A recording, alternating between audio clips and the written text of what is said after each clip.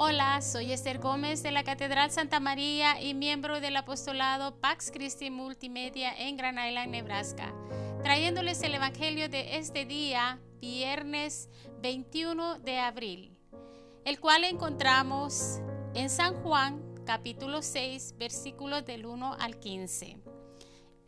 En el nombre del Padre, del Hijo y del Espíritu Santo. Amén. Después Jesús pasó a la otra orilla del lago de Galilea, cerca de Tiberiades.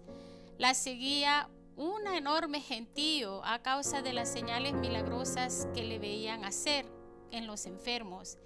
Jesús subió al monte y se sentó allí con sus discípulos. Se acercaba la Pascua, la fiesta de los judíos. Jesús pues levantó los ojos y al ver el numeroso gentío que acudía a él, dijo a Felipe, ¿dónde iremos a comprar pan para que coma esa gente? Se lo preguntaba para ponerlo a prueba, pues él sabía bien lo que iba a hacer. Andrés, hermano de Simón Pedro, dijo, aquí hay un muchacho que tiene cinco panes de cebada y dos pescados. Pero ¿qué es eso para tanta gente? Jesús les dijo, hagan que se siente la gente. Entonces Jesús tomó los panes, dio las gracias y los repartió entre los que estaban sentados. Los mismo hizo con los pescados y todos recibieron cuanto quisieron. Jesús dijo a sus discípulos, recojan los pedazos que han sobrado para que no se pierda nada. Los recogieron y llenaron doce canastos con los pedazos que no se habían comido. Eran las sobras de los cinco panes de cebada.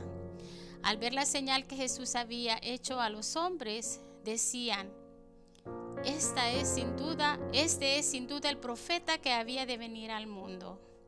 Jesús se dio cuenta de que iban a tomarlo por la fuerza para proclamarlo rey y nuevamente huyó al monte él solo. Palabra del Señor. Gloria a ti, Señor Jesús. Jesús multiplica, multiplica los panes y la cebada para darle de comer, como dice el Evangelio aquí, a una gran multitud, más de cinco mil personas que estaban ahí y que lo seguían. Mediten el Evangelio en casa para que ustedes puedan ver la profundidad que, que tiene.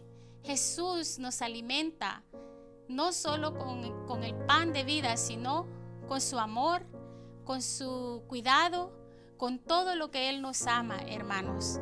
Él sabía lo que iba a hacer en ese día, multiplicar esos panes y, y ese pescado para que a toda la gente que estaba ahí se saciara de comida.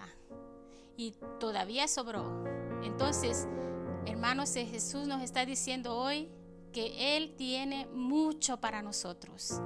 Sigamos en este tiempo tan hermoso, sigamos a Jesús, no, no dejemos de seguirlo, porque Él siempre va a estar ahí alimentándonos, siempre. Denos un me gusta, suscríbase a nuestro Facebook y YouTube. Que Dios les bendiga.